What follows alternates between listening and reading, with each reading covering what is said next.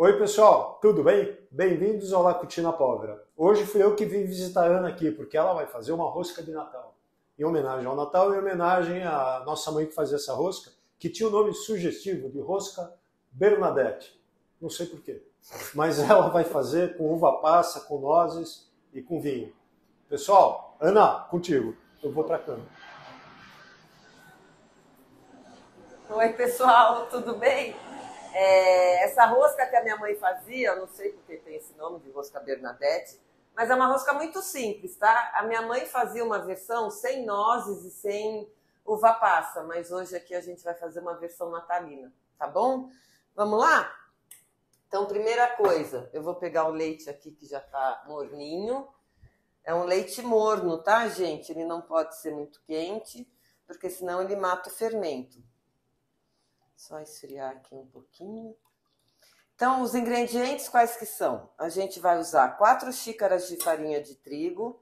Eu comprei uma farinha especial para pão, mas pode usar qualquer farinha. 3 gemas, 2 colheres de sopa de óleo, 2 colheres de sopa de açúcar, uma colherinha de café de sal, é, um envelopinho de fermento biológico ou dois tabletinhos de fermento biológico fresco. Como eu não achei, eu comprei o fermento biológico seco. E depois o recheio a gente vai mostrar para vocês, porque vai uva passa, vai nozes. Então, ó, aqui eu vou colocar o leite no fermento. Vou colocar um pouquinho desse açúcar aqui para agilizar esse fermento aqui. E aí, enquanto isso, o que, que a gente vai fazer? Eu já vou pegar as três gemas.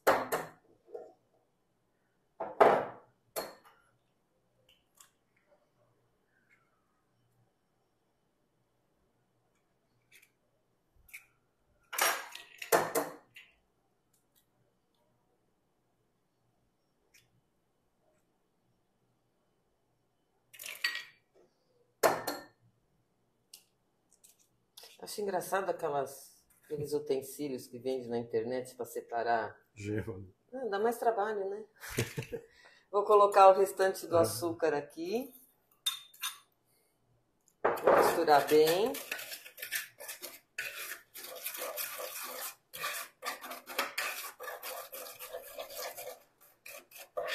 Já vou colocar as duas colheres de sopa de óleo.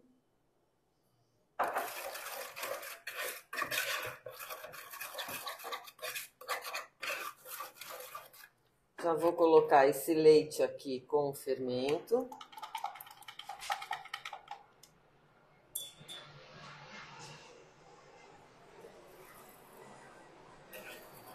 E aí eu vou adicionando a farinha.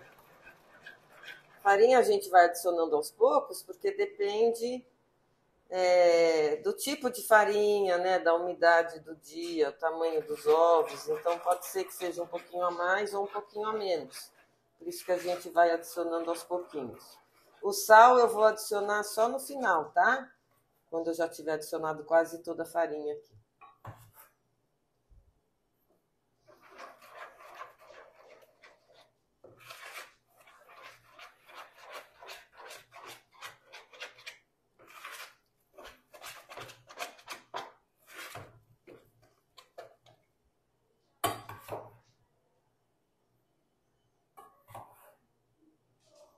Agora vou adicionar o sal.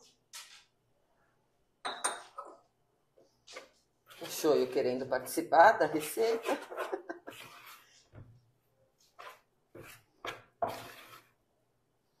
Só tirar essas claras aqui que eu não vou usar.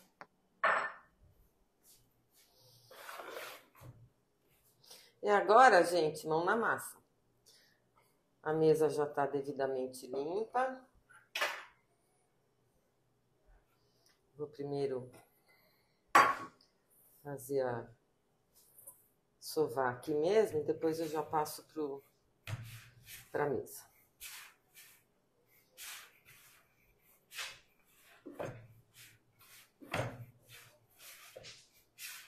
Ela fica uma massa bem macia.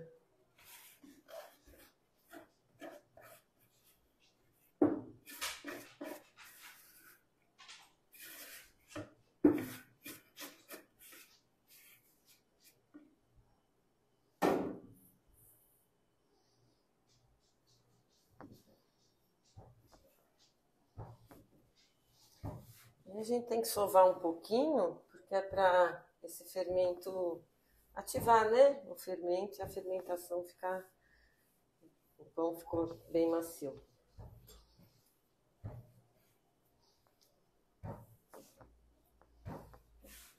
Ó, apesar de na receita estar tá marcando quatro xícaras, vocês viram que eu não usei as quatro, né? Por isso que é bom a gente não colocar toda a farinha de uma vez, porque depende muito do tamanho dos ovos, da qualidade da farinha, da umidade do tempo, né? Se o tempo estiver muito úmido ou não. Então, tudo isso interfere. Sovar mais um pouquinho.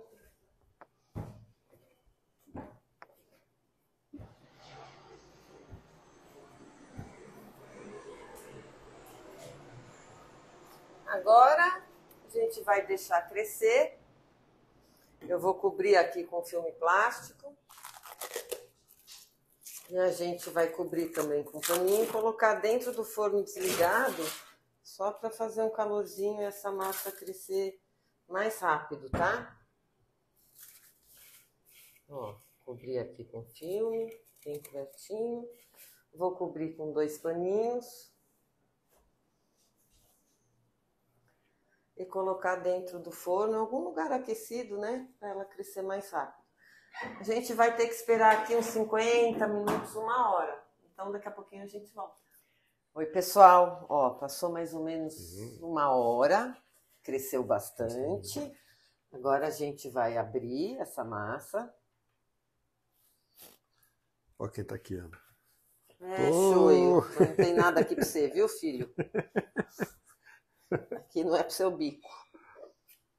A gente só vai abrir a massa e ó, ela é uma massa bem fofinha. E a gente vai tentar fazer um retângulo. Vamos ver aqui o que, que a gente consegue. Cresceu rápido, né? É, ela cresceu bem rápido, apesar de hoje estar meio friozinho, né? É.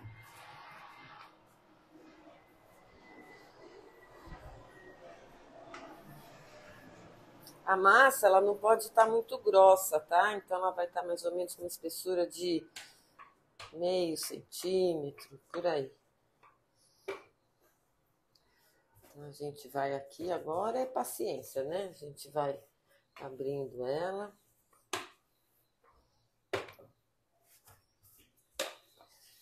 E ela fica uma massa amarelinha por causa dos ovos, né? Os ovos estavam com a gema bem laranjinha. Sim.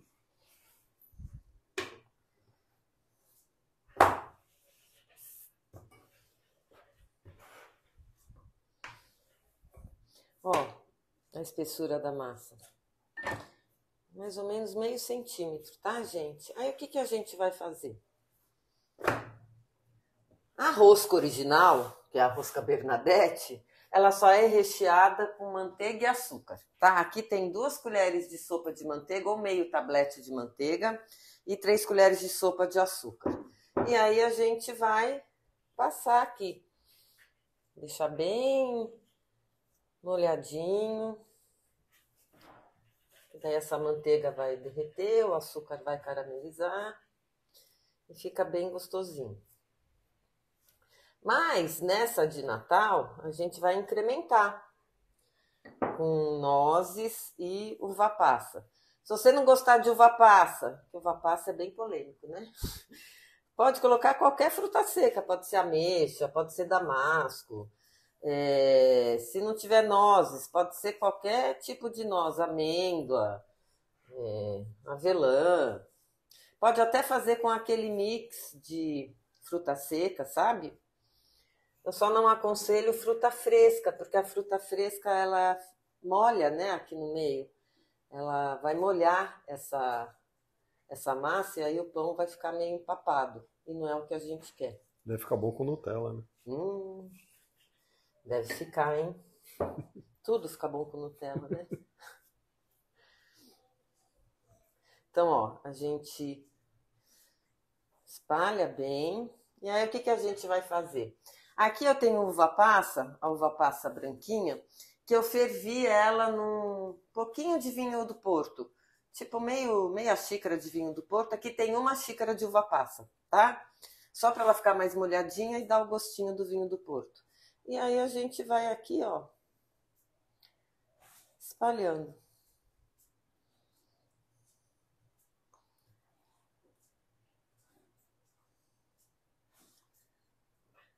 Para essa uva passa não sair quando a gente for enrolar, eu sugiro que a gente faça isso, ó. Deu uma amassadinha aqui para ela grudar nessa manteiga, tá? Porque senão ela é capaz de sair, né?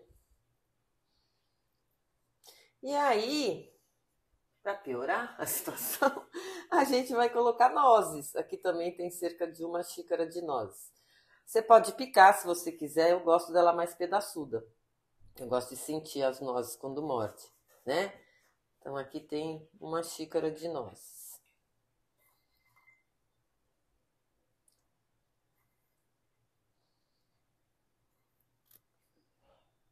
Espalha bem. E aí a gente vai amassa mais um pouquinho e aí a gente vai enrolar feito um rocambole mesmo. Deixar ela vir mais aqui para os ladinhos, né? Senão essa pontinha aqui vai ficar sem recheio. Então isso a gente faz na mão mesmo, tá? Senão as pontas, todos os cantinhos tem que estar tá com recheio, tá? E aí a gente vai enrolando. Como se fosse um rocambole mesmo.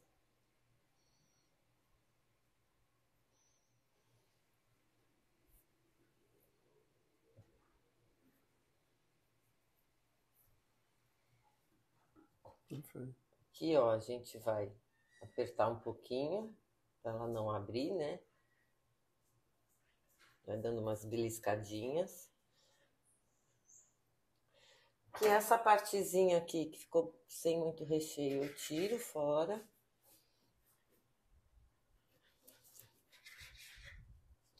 E aí a gente vai cortar, eu vou colocar nessa forma aqui para ficar tipo uma rosca. Então, para ser igual, eu vou cortar no meio.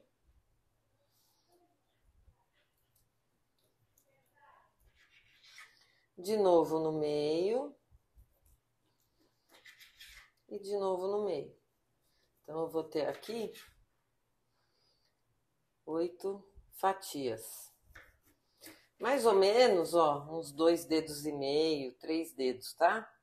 Aqui meu dedo é gordo, né? Então, o meu dedo são dois dedos, mas se tiver o dedo mais fininho, três dedos. Maravilha. E aí, o que, que a gente vai fazer? A gente vai colocar aqui nessa forma, que tem um buraco no meio, que dela vai ficar com formato de rosca mesmo. A forma já tá é, untada, né, com manteiga e farinha de trigo. Ó, como ela fica bem recheadinha, ó. Tá vendo? Uhum. Perfeito. Oh, certinho. Até tá bem apertadinha. Ela cresceu bem. E aí, gente, a gente vai deixar crescer mais um pouquinho, tá? A gente vai deixar crescer mais um pouquinho. Eu vou cobrir novamente com o plástico. Cobrir novamente com o paninho. Deixar dentro do forno desligado.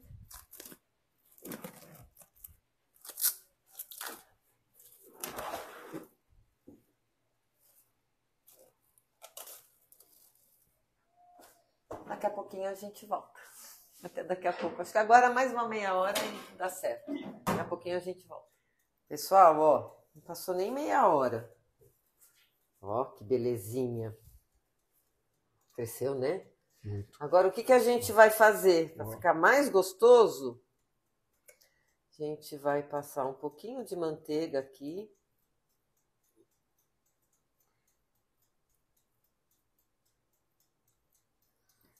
E a gente vai salpicar açúcar e canela. Mas vai ficar com um gostinho bem de Natal. Hum, Bom, né? eu tô até imaginando. aqui. Manteiga é bom porque vai deixar ele bem úmido. Tô sentindo até o cheiro imaginário. O shoyu também, né, shoyu? E Então, ó, agora a gente vai salpicar um pouquinho de açúcar. Daí também dá uma caramelizada, né?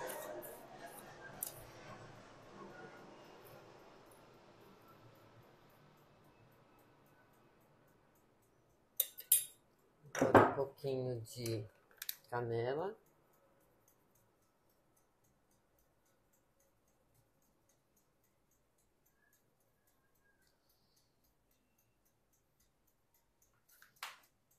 Agora a gente vai levar no forno, 180 graus, até ele ficar douradinho. Eu acho que, eu acredito que uns 25, 30 minutos, mas vamos ficar de olho aqui. Quando ficar pronto, a gente volta. Pessoal, passaram-se aqui 25, 30 minutos. Uau! Ó, que belezinha. Hum, cheiro. O cheiro tá maravilhoso, né? Agora a gente vai desenformar.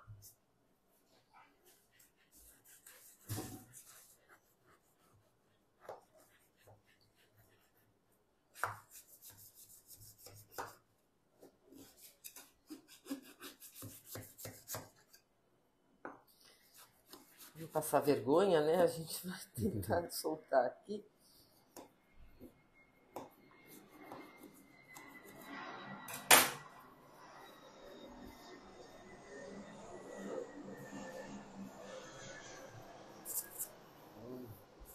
Fica bem soltinho. Então, vamos lá.